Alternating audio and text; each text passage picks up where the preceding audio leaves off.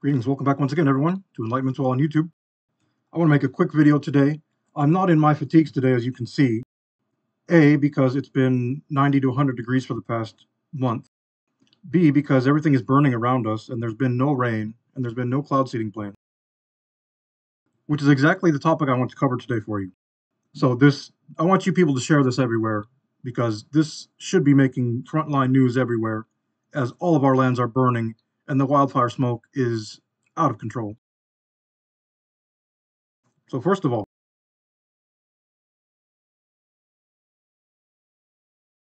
I will have all this information linked in my video description below, so be sure to check that out for yourself. In the past week, as I've continued my independent journalism and blowing the whistle on the robust cloud seeding and weather manipulation program by the United States government and the Air Force for over 70 years, I came across an informational archive of theirs in regards to records they have kept of all the types of weather manipulation that have been going on. I'm going to show you a screenshot I took from their archive right now. You can see here we have dates, we have locations listed, we have PDFs, and we have the type of activity. Look at these types of activities, people. Snowpack augmentation. If you use your brain and actually think, then you can devise that through augmenting the snowpack, they could restore every river and every lake that has dried up because with increased snowfall obviously comes increased runoff. Another term here, increased precipitation.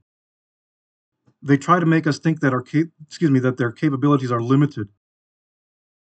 These records extend back to the 1940s. And through increasing precipitation, you can curb all wildfires and wildfire smoke. So then the question becomes, why are they not doing this? Why have I not seen a cloud seeding, plane in months?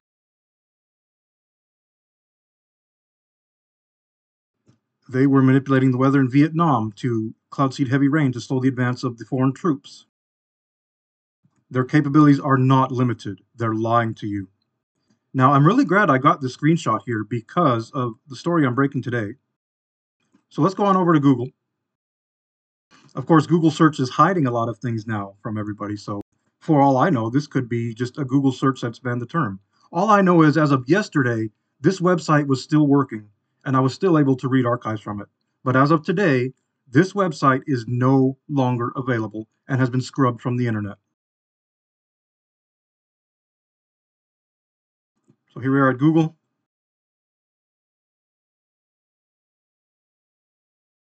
I'm first going to go to my Twitter page, which highlights this story that should be being shared everywhere.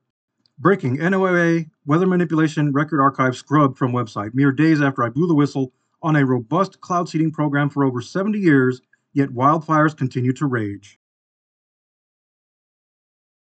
I'm going to copy this link.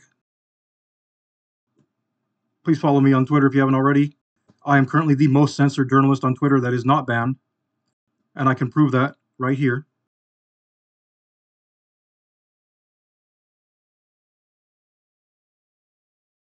You can see right here that Twitter has labeled my account. The reach of your account may be limited and its content may also be temporarily restricted, as in being excluded from friends' replies and recommended notifications. They claimed that this was due to platform manipulation, which I have never done. This is another bullshit censorship that they are trying to pull on me for trying to give you people the truth, which I'm doing right now. So here we go to the NOAA page, and this page is no longer available for viewing on the internet. There were over 100 pages and 40, excuse me, 70 years of weather manipulation stored here, and now it's no longer available. Just hours after I started posting that link everywhere on all of my thousands, and I shit you not, people, I administrate thousands of whistleblowing, informational, activist technology groups online. Suddenly now it's gone missing. I really wish I would have got more of these screenshots, but I think one should be enough to get my point across here. And let me be very clear what my point is, everybody. Civilians are under attack and they have been for a long time. We are at war. It's a multifaceted war. If it were planes dropping bombs on us all, surely we would be organizing and fighting back to do something about it. But because it's weather warfare, everyone just wanders on as a cattle grazing the field.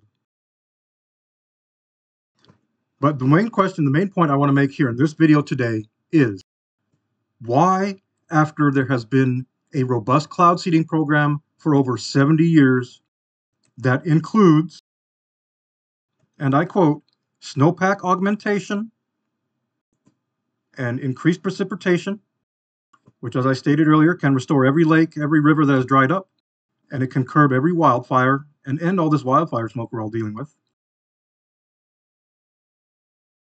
Why are our lands still burning more every year?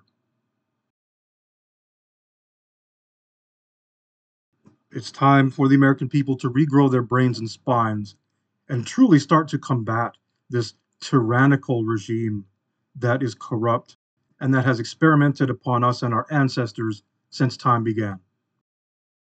So, again, you can keep trusting on me to give you the truth, everyone. If you wondered why I'm called the conspiracy nut job, I just showed you why. It's because I'm trying to give people the truth, and everyone trying to hide it labels me as that. I just proved to you that I'm one of the most censored journalists on Twitter that is not yet banned. And as you all know who followed my YouTube channel, I am blacklisted, I am censored for giving people the truth. So ultimately, what does the truth mean to you?